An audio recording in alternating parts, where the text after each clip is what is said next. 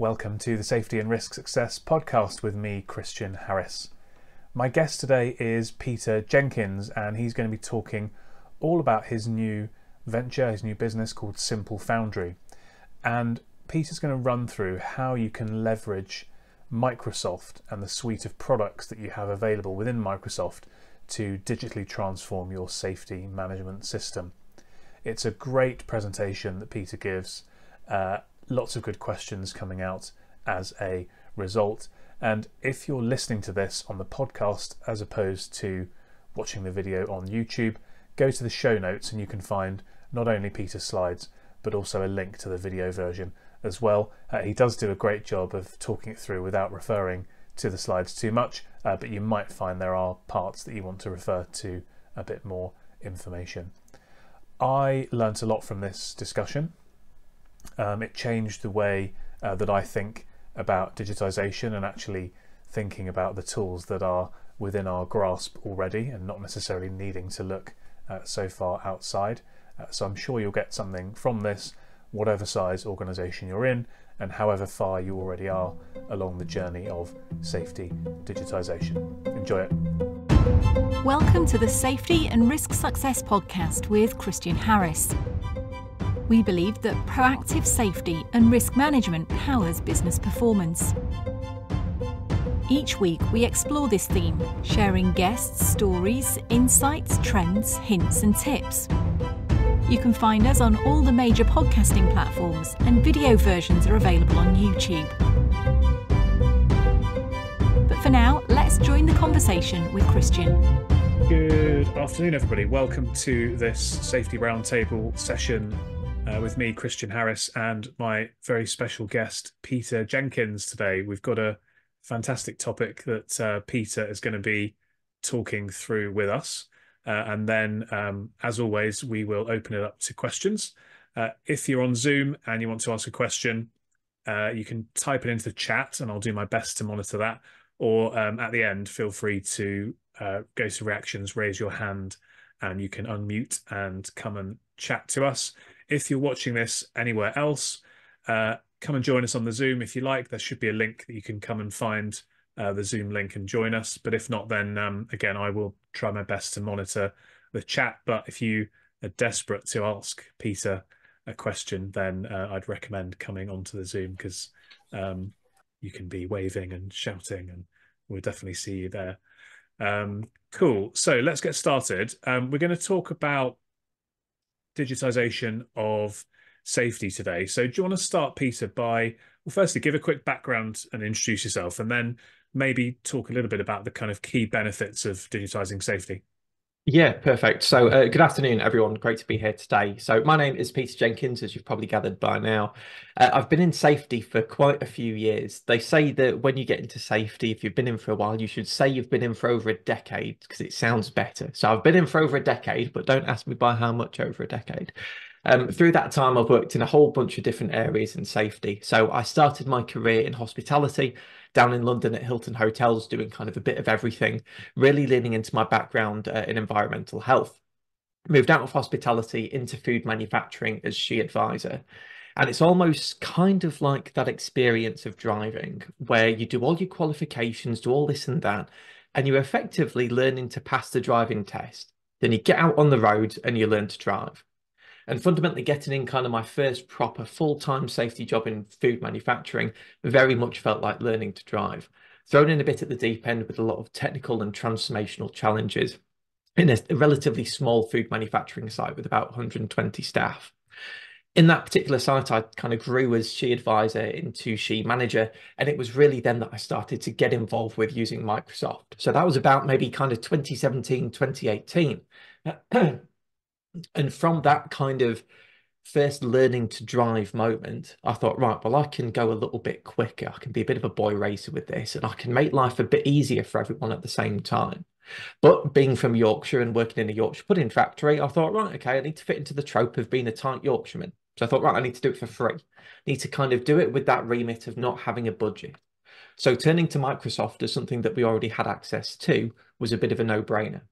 Really, at that point, it was a case of learning by doing, a bit of trial and error, going out on forums, reading uh, articles that had been published on blogs, watching YouTube videos. And collectively, over a few years working in that food manufacturing site, I started to hone my skills.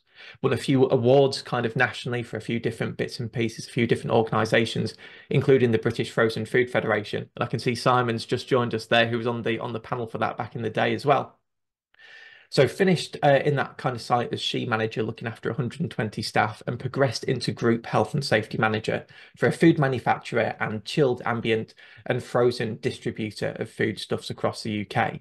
That was 18 sites, three business units, and about 750 staff. Suddenly, the idea of using a free thing from Microsoft had to grow a little bit. I had to scale it from that point of view. What worked for one site wouldn't necessarily work for 18, but I had to try it was the same again. You've got kind of a team of one, but a team of 700. And we have to make it work. We have to try and understand how we can use what we have access to already because there is no budget. There's no defined kind of set amount of money for us to be able to work through it. And again, hone my skills nicely through that, really scaling what could be done with Microsoft, introducing new management system techniques to people that didn't have, with the best will in the world, a great level of digital literacy which naturally was one of the big barriers to achieving a digital safety management system. And I'll be going over how I managed to deal with that a little later on as well. And then finished that kind of time as group health and safety manager after implementing a new safety management system through Microsoft over about two years and joined Stagecoach as head of safety. Now that again, that's a completely different scale. You've got 20 odd thousand staff, 120 locations, and about 18 different businesses.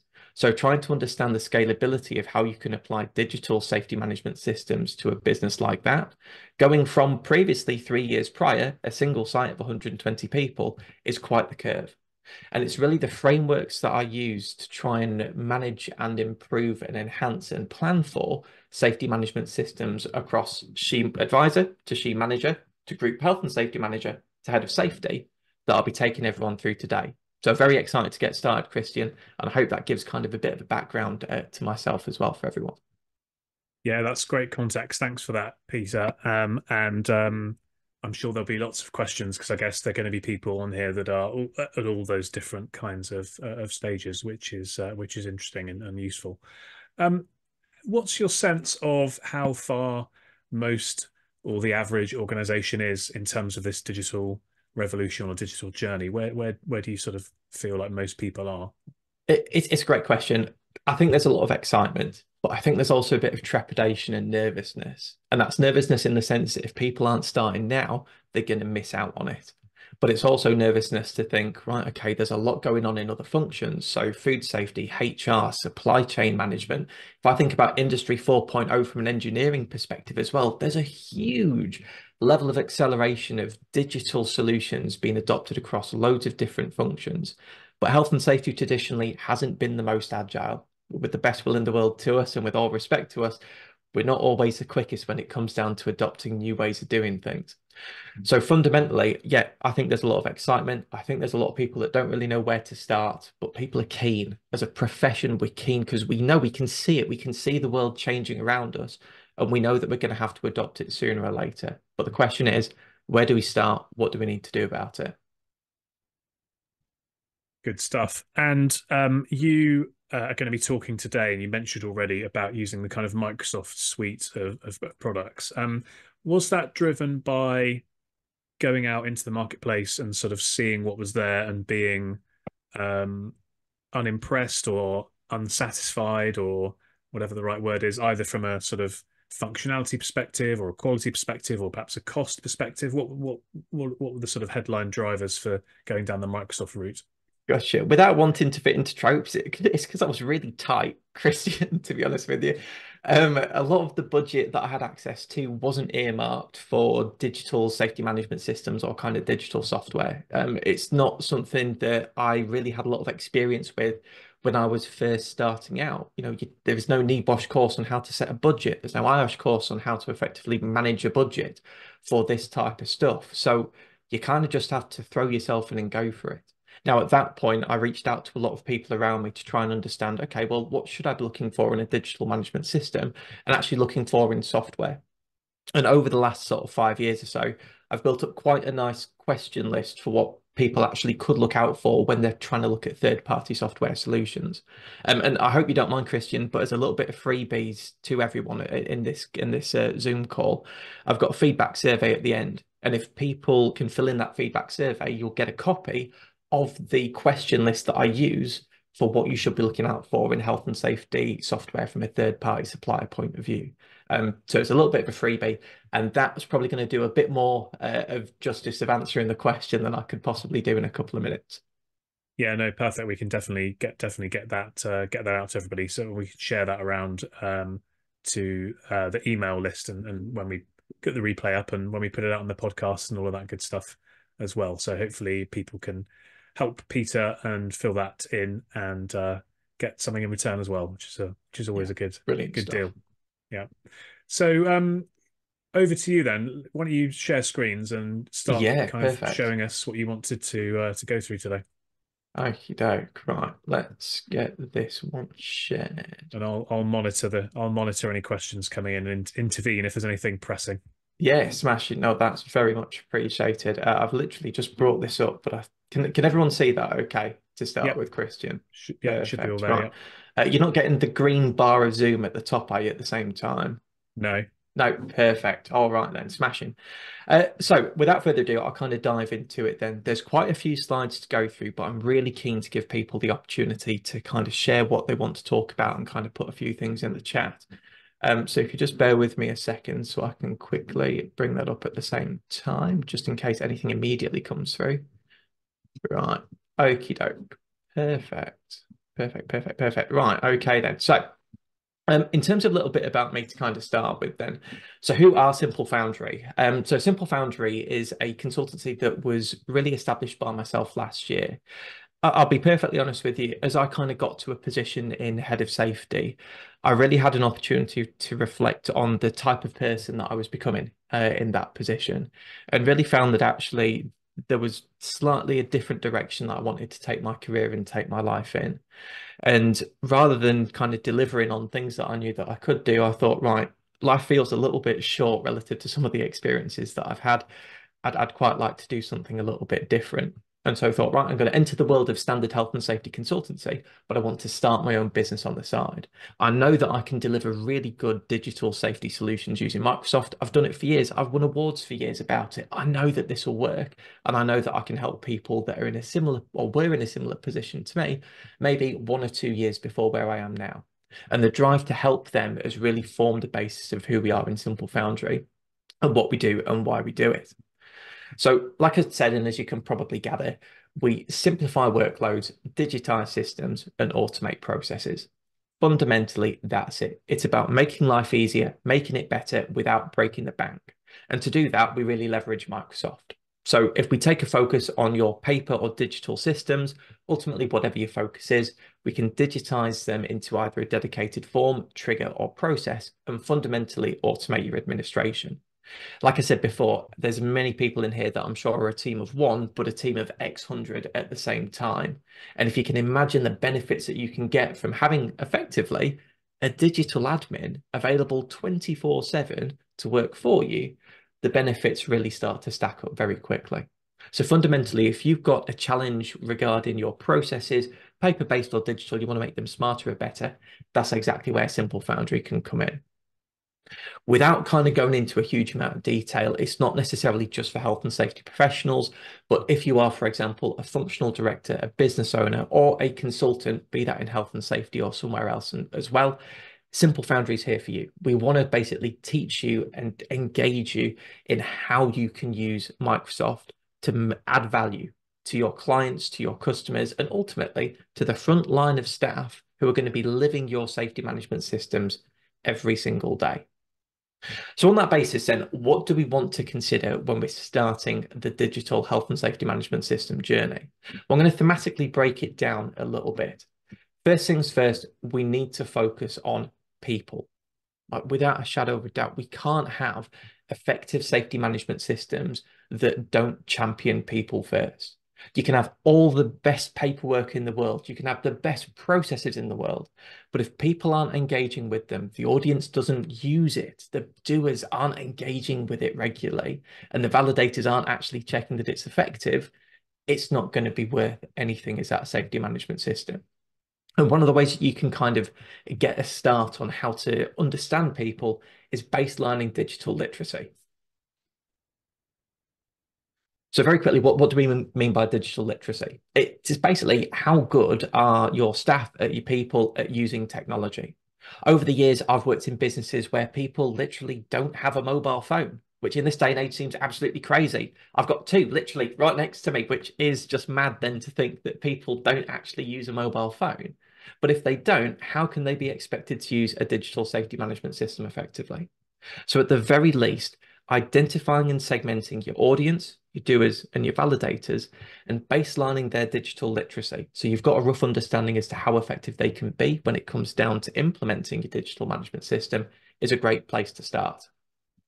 The second thing to consider is patterns and pattern-based learning. Now, as, as human beings, just generally speaking, we thrive off storytelling. Fundamentally, that's one of the earliest ways that we passed information from one, one another to each other. That, that was simply it. We told stories when it comes down to health and safety, we can actually design a health and safety management system kind of around storytelling to start with if we think about pattern-based learning. So I'm sure that there's quite a few of you on this call now that will have a mobile phone. Fundamentally, there's quite a few of you that will have a, a social media app or you'll have a messaging app like WhatsApp, for example. So if I think about how we can do risk assessments, but using a pattern to help us with the health and safety management systems, we might say, right, okay, if you use WhatsApp to take a voice note, for example, and send that voice note to a friend, in theory, you can actually take a picture of your environment and use a voice note to record what the risks are as part of that. Talk through the risks like you would do a risk assessment and then literally just forward that uh, particular voice note to either uh, someone that's a manager or a supervisor, or take that voice note and save it to a digital repository, give it a title for the risk assessment, and there you go. It's a very, very quick, rough, easy way of doing a dynamic risk assessment that you can actually then use a standard pattern of learning to deliver. So when we're thinking about patterns, think about the detailed in terms of how we might actually implement certain arrangement requirements, but also at the bigger picture, how we can start to structure our safety management systems. I've worked in food for years, years, I absolutely love working in food and drink. It's an amazing sector to get into. Um, so I'm going to point to Simon Brentnell for a second as well on here, just because he's up on, on the front as well. But reach out to Simon from the British Frozen Food Federation. Uh, he's a fantastic contact to have, and we'll be really good at talking about more safety bits in food and drink, especially in the frozen food bits right now. But fundamentally, if you've got a food manufacturer that you're working with, they'll already have a really strong food safety management system. They'll have a lot to do with HACCP in there. They might even in the UK be using everything linked to the British Retail Consortium, which actually has a lot of structure applied to it that you can transfer to health and safety. So, for example, when I was joining a business that didn't have a very strong health and safety function, but had a ridiculously strong food safety function, I didn't go in and talk about health and safety. I talked about risk, I talked about critical control points, and I talked about how they manage food safety from an end to end point of view, from where they get suppliers coming in and they start to look at the quality of kind of base ingredients and raw materials through to it reaching the end customer when it's actually on their plate.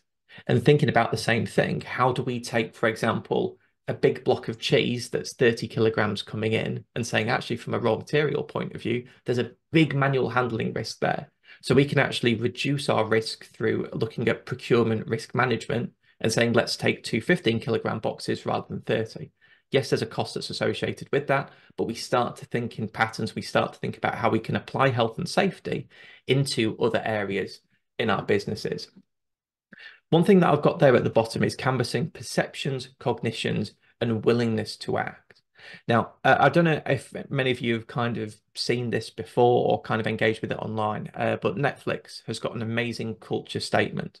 When it comes down to thinking about how people will engage with different management systems and engage with work, their culture kind of system is really strong. It underpins a lot of different engagement techniques. And they have used a particular book called The Culture Map by Erin Myers or uh, M M E Y E R S. Uh, sorry, it don't S uh, at the end, just Erin Meyer uh, for the Culture Map, and it's a phenomenal book to read. and definitely one that's worthwhile because it can really help understand what to ask when it comes down to canvassing for these perceptions, cognitions, and actions. Now, the other two things to consider are performance and scope versus scope creep. So fundamentally, when we're looking at our safety management system and we're kind of starting it out, we need to understand what's driving our demands. Is it coming internally from our frontline staff? Is it coming from our senior executive team? Or is it a demand from our customers? For example, if you've got customers that are saying, we're not going to deal with you unless you've got 45,001, chances are is that you're going to need 45,001. But realistically, if you have the flexibility to choose and to set your own pace and your own performance expectations, make sure that you're doing that against the context of these internal and external needs. But also consider it in the context of your technical and transformational performance. So when we think about technical, we're talking about like an A to Z list of topics in health and safety, from accidents all the way down to workplace welfare and zoonotic risks, for example, that might be in, in your particular business. And we want to think about how we can start to engage with both together at the same time. Because ultimately, it's like I've said there, if you want to transform slips and trips in your business, but you're not doing a baseline measurement of how slippery the floor is in the first place, is it going to be as effective as possible? So on that basis, why would you look at transforming safety culture in your business if we aren't benchmarking our technical performance at the same time? The two will go hand in hand as part of that. And that can lend itself well to that scope versus scope creep. So I've seen businesses, for example, that proudly say that they've got 45,001. Right. Then you ask for the scope of it, and the scope says, well, it's actually for the desk based site uh, in our office that's 300 miles away from where we're working. But we've got 45,001 you kind of think, is that really doing justice to what you want that safety management system to deliver? Is the scope of that really reflective of what you want to achieve as part of your ambitions and your aims, both personally, professionally, but also as a function and an executive team as well? So getting all of these kind of things defined, first of all, will set you up for success. Now, when it came down to me, what did I actually use? What were my actual implementation techniques?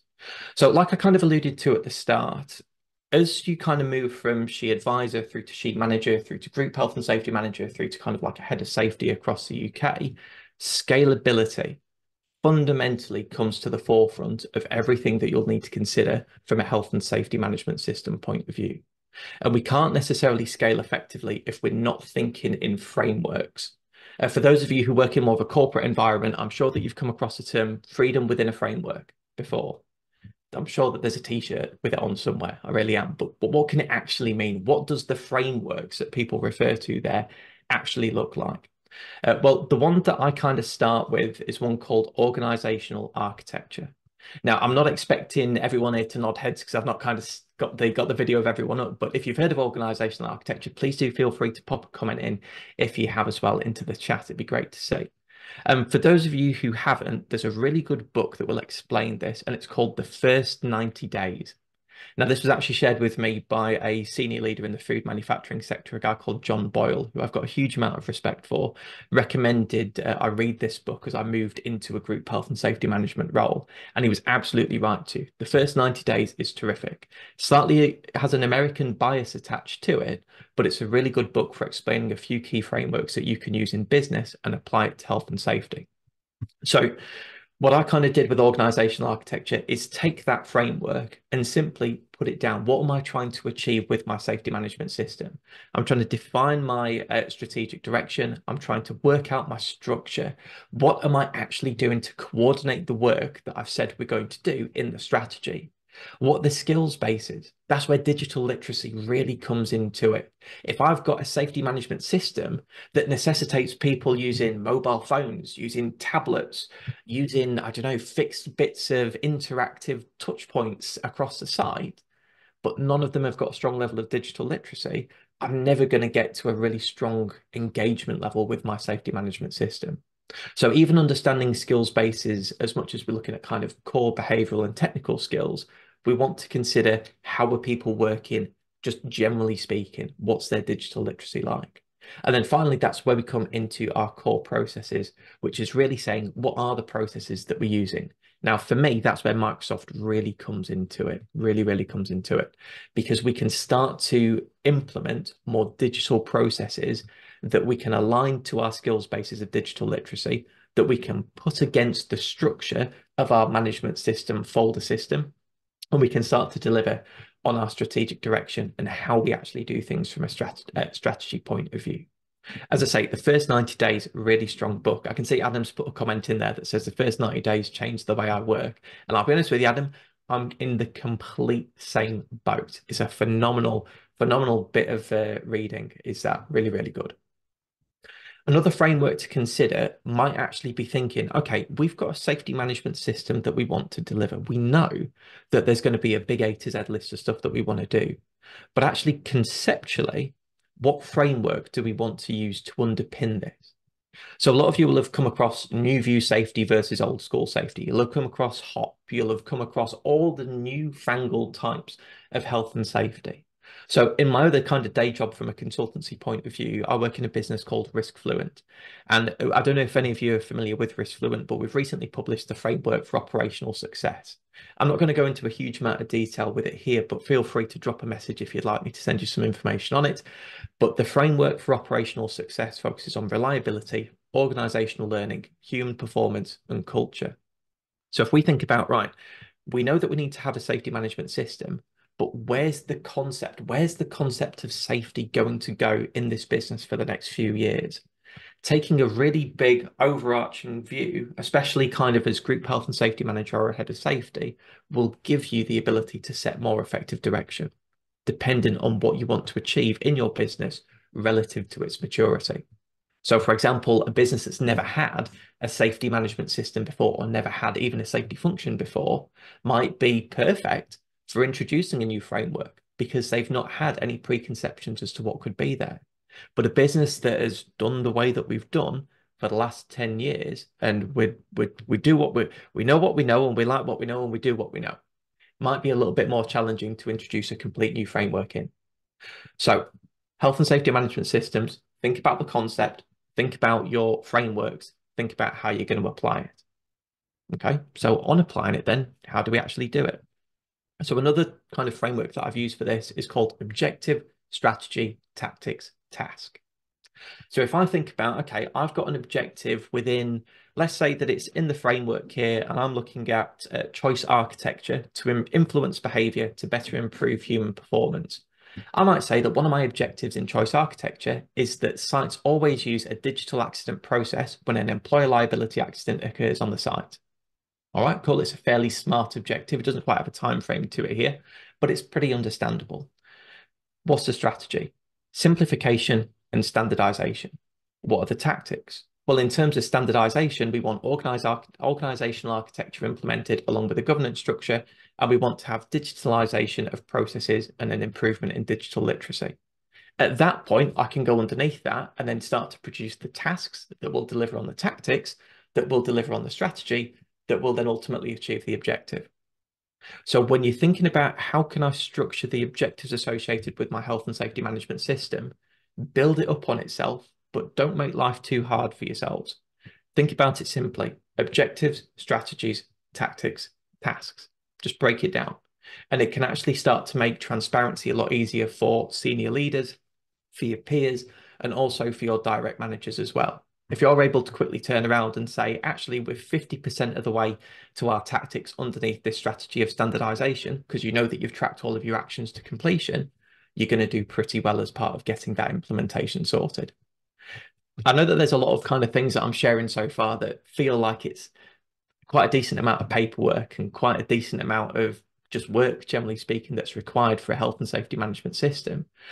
But fundamentally, you might find that in your experience, you don't have to do something as radical as implement everything like this at the same time.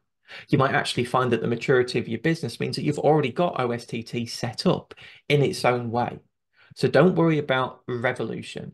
At times, think about evolution rather than revolution. And to simplify that even further, we can actually start to think about pacing using something called the three E's.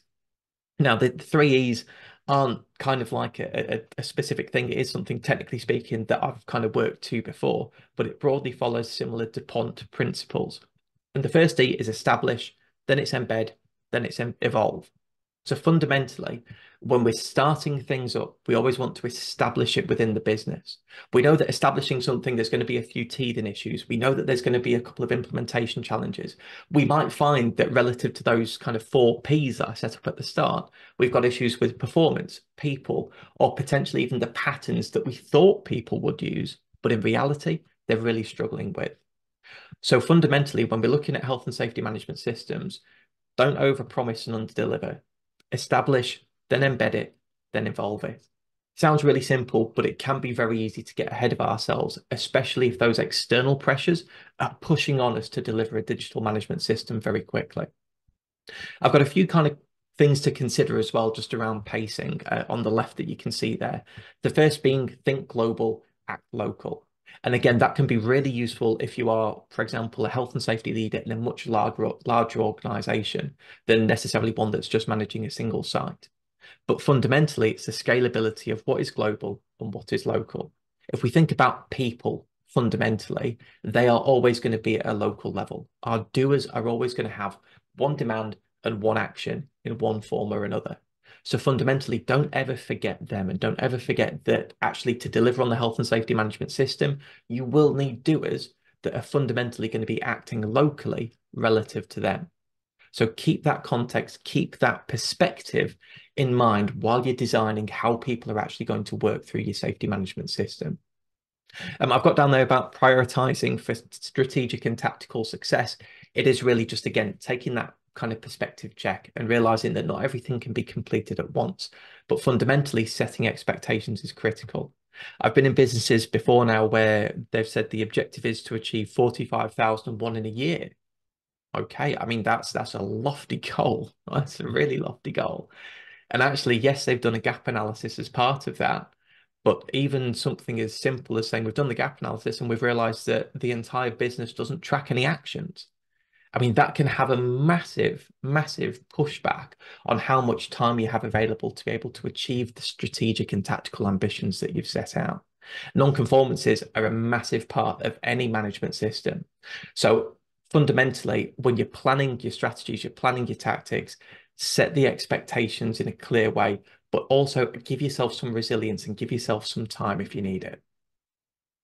Um, I touched upon this in the, uh, the the kind of the initial post that I put out, but fundamentally, keep in the back of your pocket time, quantity, quality, cost, capacity, and culture.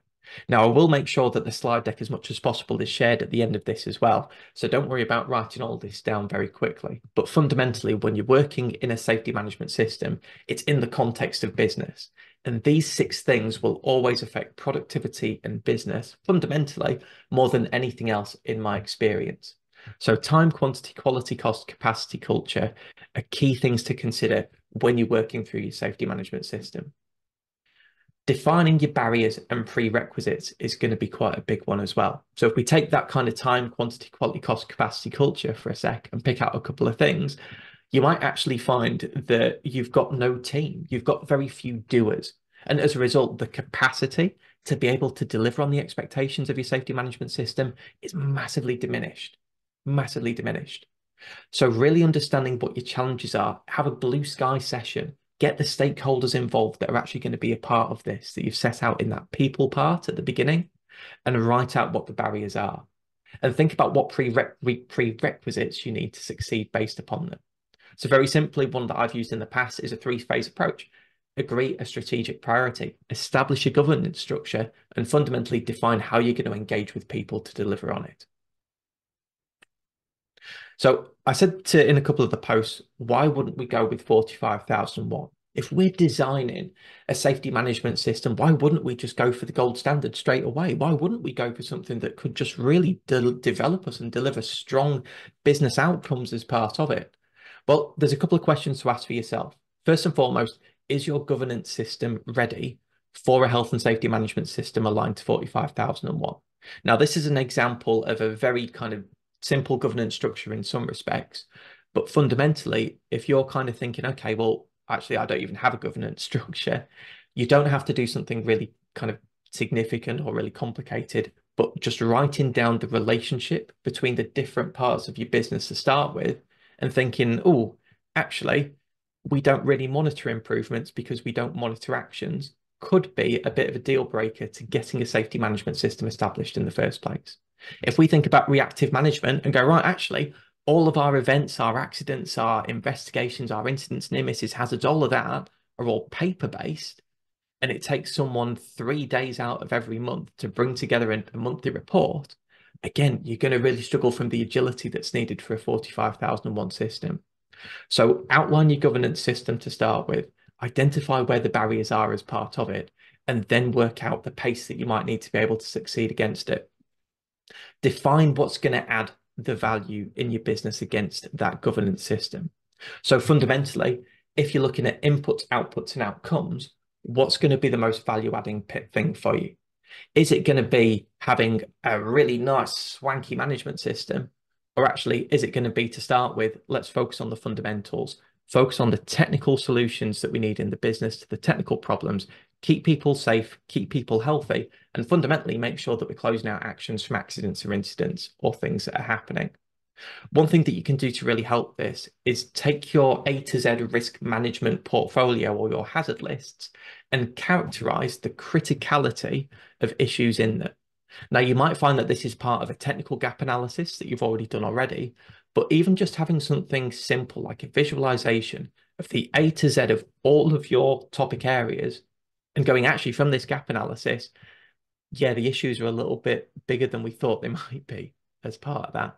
It can make a huge change and it can really just help set out the expectations for how you're going to build your management system in the future.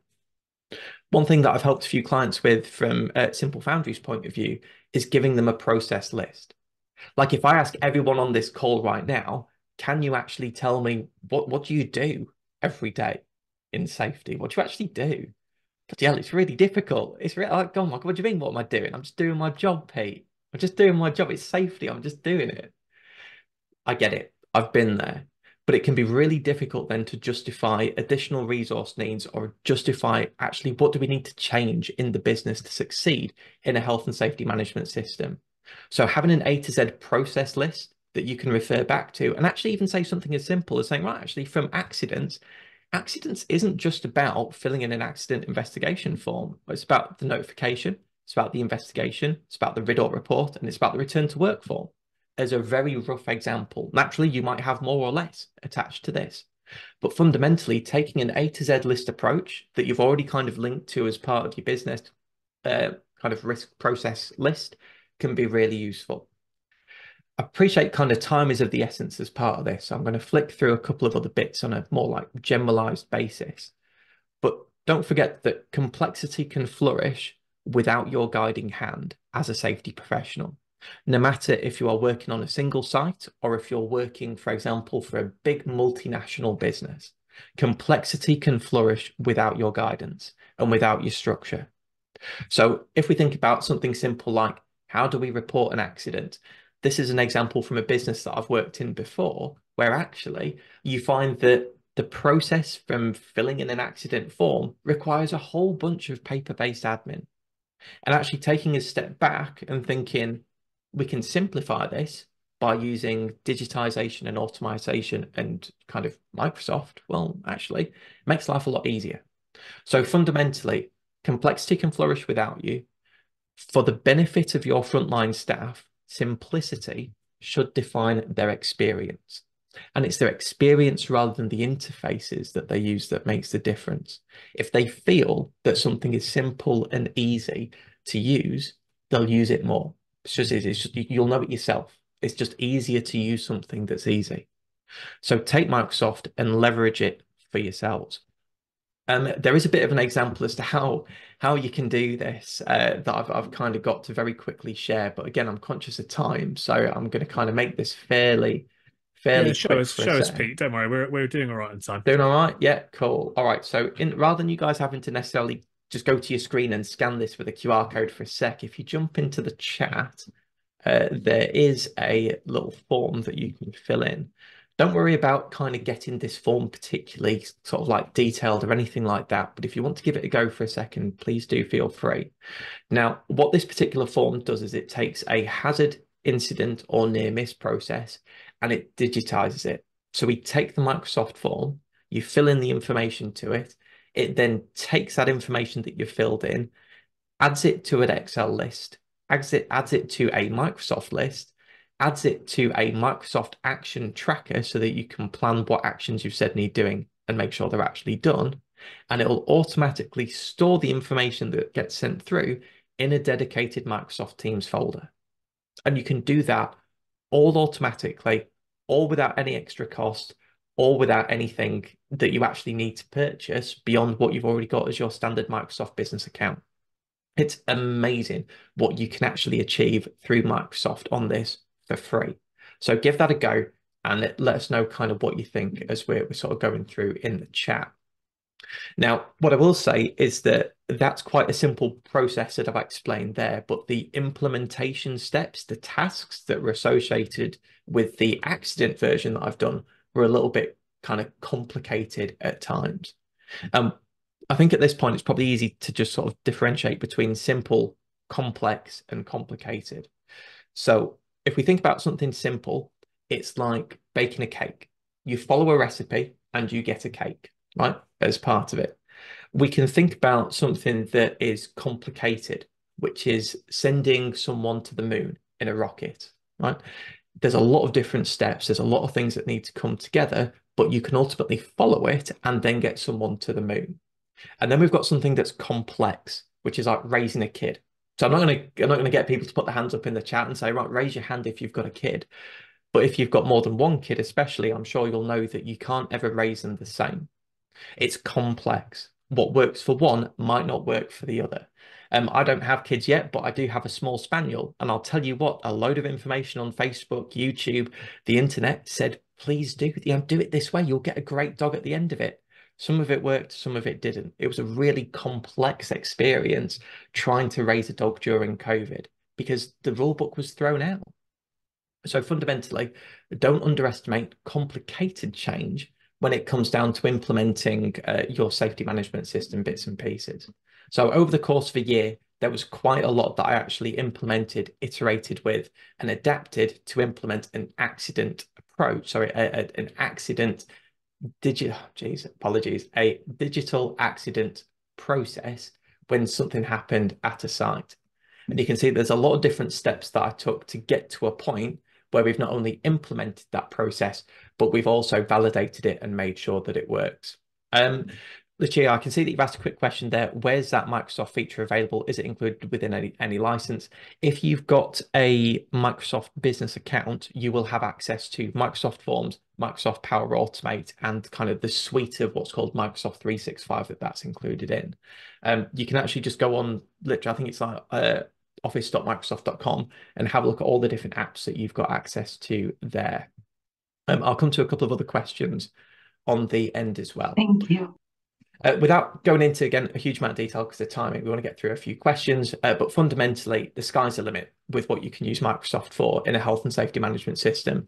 Literally, take that A to Z list approach. I've gone through a bunch of different processes with a few clients now, and we've identified in one business 90 different processes that can have some form of automation in their business. It, it's it's huge. It's a, an an amazing opportunity to really streamline and simplify what you're doing, reduce that admin burden take the cost out of it and you don't have to spend five or six figures on a multi-year contract with a third party software supplier because you can do so much of it in Microsoft at the same time as building up things like digital literacy within your teams.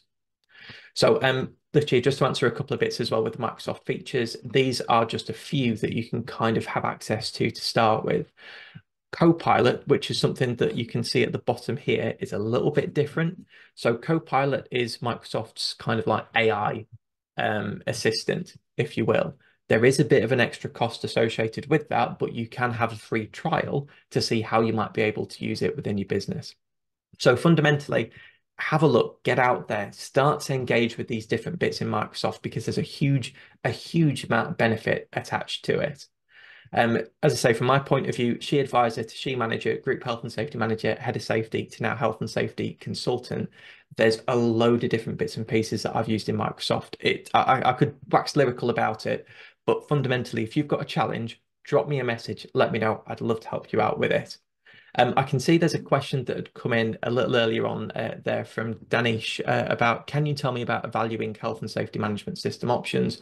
Uh, kind of. What, what I'm going to say for a second is if you fill in the feedback survey for what I'm about to go through next, I'll send you across that health and safety software supply requirement cheat sheet that covers a load of different questions for what you might want to look at from a health and safety management system uh, supplier, if you will, from a third party solution, all the way through to just generally speaking third party solutions in health and safety. So if you're really interested in that, fill in the evaluation form I'm about to put in next and we'll go through it.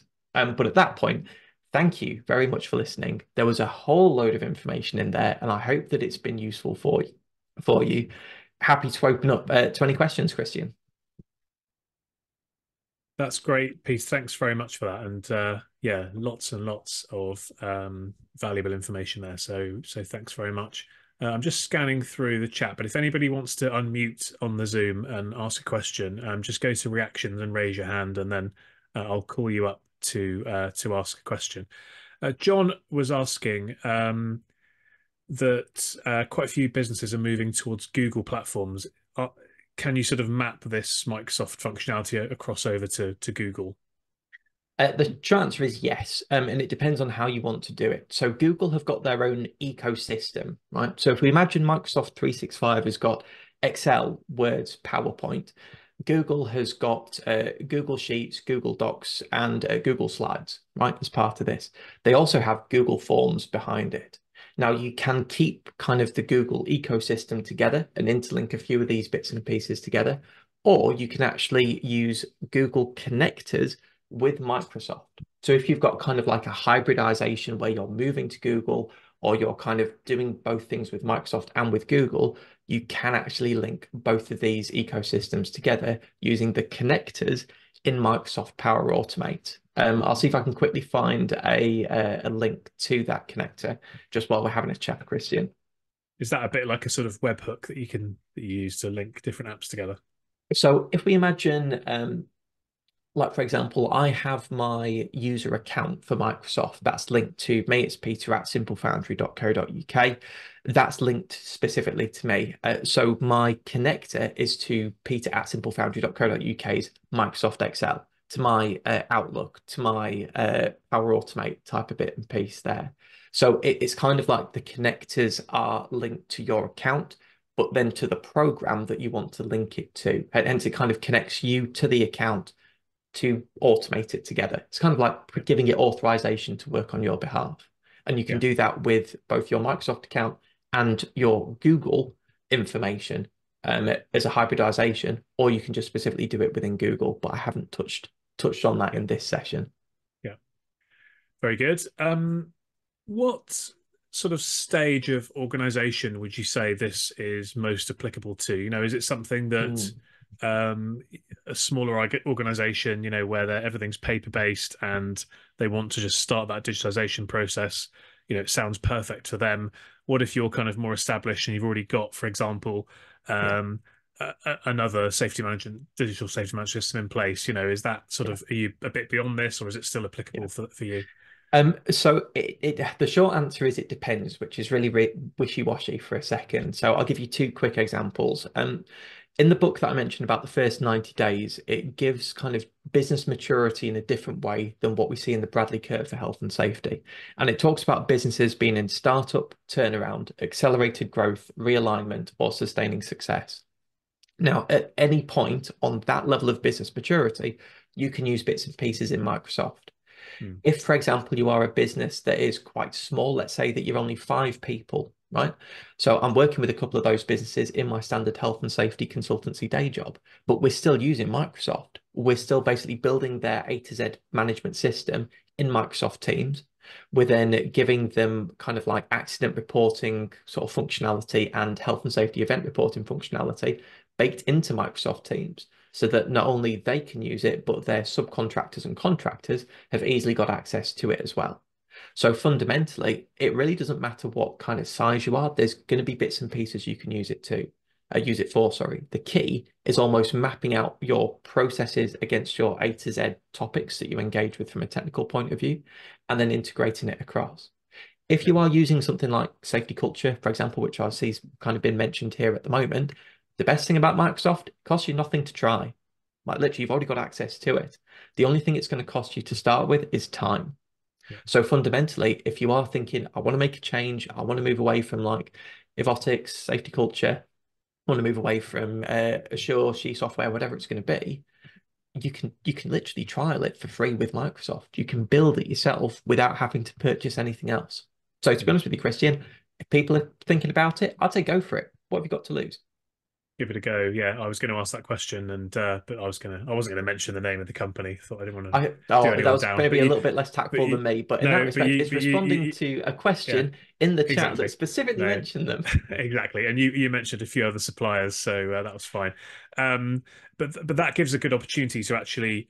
Uh, talk a little bit more about what you and Simple Foundry or how you and Simple Foundry can help. So if somebody is in yeah. that situation and they'd love to, you know, know more about building their own systems, or if they're starting out and would would love to have a bit of help rather than going down the route of trial and error. Which I know you say it's it's free and it's only your time, but obviously time is yeah. a very valuable commodity. Could you just talk us through a little bit how uh, how you could help, what the sort of different uh, products or, or, or, packages or however that works are and, and yeah you know. yeah absolutely so um at the moment um oh, apologies i'm i'm building a, a, kind of like a dedicated uh, learn e-learning type of thing. So all the information that I've been talking through is going to be in an e-learning package.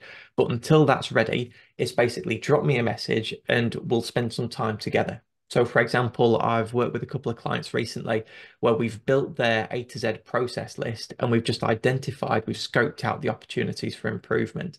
And at the same time, on that same day, we've just literally implemented a few different quickfire bits and pieces, which, for example, in this case, have been the health and safety event systems and the accident reporting systems. So to start with, it's really simple. Drop me a message. We'll work together through the A to Z process list, identify what's critical, what's really urgent for yourselves, and then literally just start digitizing and automating together. It's um, I'm not going to say it's uncomplicated, but fundamentally it doesn't have to be complex. We can we just can keep it really simple as part of yeah. that. And watch this space for e-learning in the future. Good stuff. Uh, question about um, is this applicable to different sectors, so construction, oil and gas, etc. Uh, yeah, absolutely. Yeah, absolutely. So um, at the moment, for example, I'm working with uh, who am I working with? Telecoms, food manufacturing, um, media, the uh, education from like secondary schools, big sort of campuses type of things with uh, what's it called? Um, oh, my brain's going. Apologies, I haven't had my my uh, lunchtime sandwich just yet. um, academy groups, that's it, and yes, uh, kind of trust groups as part of it. So fundamentally, when we look at uh, process compliance for different sectors, yeah, absolutely applicable. Because at the end of the day, we're just looking at people and upgrading paperwork. And fundamentally, if you uh, have access to Microsoft, have paperwork you want to improve, unfortunately, I don't speak any other languages, so it's speak English. Drop me a message. We'll, we'll work it out. It's literally applicable to anything and everyone from that point of view. Good stuff. Good stuff. Um, you've also been invited onto a podcast as well. So, uh, so I've seen from Peter. Yeah. Uh, yes, yeah. I'll be in touch, Peter. That'd be great. That's very kind of you. Thank you. Peter's. Uh, I think he's just left actually this meeting. He had to go off, but he's he's going to come and do a session on the uh, on the safety roundtable uh, sometime soon as well. So uh, yeah, look yeah, forward. Terrific. To, look forward to that. Well, look, uh, that's Brilliant. been really, really um, interesting. Um, I have come away with um, lots to think about. I think, and I'm sure everybody's the same. You know, it's opened up my eyes to uh, a fantastic array of different opportunities uh, that I, to be honest, didn't know uh, existed. So really, really appreciate that. Thanks for for coming on and, and oh, taking the questions. Um, really encourage everybody to um, connect with with Peter if you're not already on on LinkedIn. Um, drop him a line, fill in his survey, and uh, share some feedback. You know, share on on LinkedIn or drop me an email as well, and just keep me up to date with how you're getting on because I'd be really fascinated yeah. to see how people could start implementing this stuff. Perfect. And, and likewise as well, I've got my kind of contact information just down here as well, but I've put my LinkedIn in the uh, in the chat. Feel free to reach out if I can help you in any way from that point of view. But thank you so much for your questions, everyone. If there's questions that you didn't get a chance to kind of get answered, drop me a message. I'd be more than happy to work through that with you as well. Good stuff. Well, thanks everyone for joining us, and we'll look forward to seeing you again on uh, another Safety Roundtable soon. Cheers. Wonderful. Thank you. Bye bye, everyone. Thanks for joining us on the Safety and Risk Success podcast. If you've enjoyed this episode, please hit follow and do share on social media. Does anyone you know spring to mind as a great guest, even yourself? If so, please contact us on podcast at slipsafety.co.uk. See you next week for another episode.